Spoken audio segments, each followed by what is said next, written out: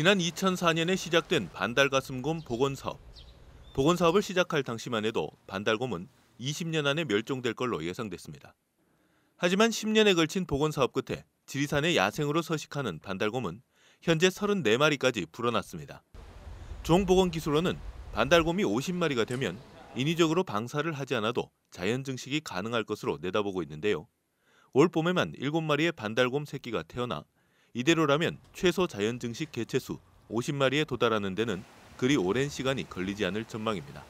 현재는 반달곰이 지리산에서만 서식 중이지만 이렇게 마리수가 늘어나면 반달곰 서식지는 백두대간을 타고 북상할 것으로 예상됩니다. 지금 이곳은 지리산과 덕유산을 잇는 최단 코스입니다.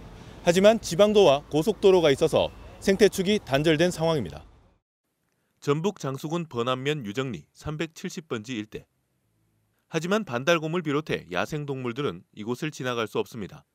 숲이 끝나는 바로 앞으로 2차선 743번 지방도가 지나고 바로 그 위에는 88고속도로가 가로지르고 있습니다. 바로 이곳 사치제가 백두대간 생태축을 잇는 첫 복원 사업이 시작되는 곳입니다.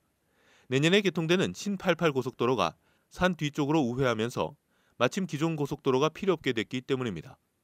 또 사업에 힘을 보태기 위해 사치제 인근의 농지 8필지는 자연환경 국민 신탁이 시민과 기업이 모금한 돈으로 사들여 영구 보존하기로 했습니다. 현재 생태축 복원이 각 관계기관 협의로 인해서 이루어지고 있는데 그 추진력을 불어넣기 위해 시민이 먼저 시민의 기금으로 현재 토지를 매입했습니다. 이 시민의 기금으로 매입한 토지는 국민신탁 법에 의해서 영구히 보존되기 때문에 이 부분을 생태축 복원의 첫 시발점을 하려 했을 때 각 유관 기관이 도로 폐도 복원이라든지 생태축 복원에 좀 더 추진력을 얻을 수 있을 거라 생각합니다.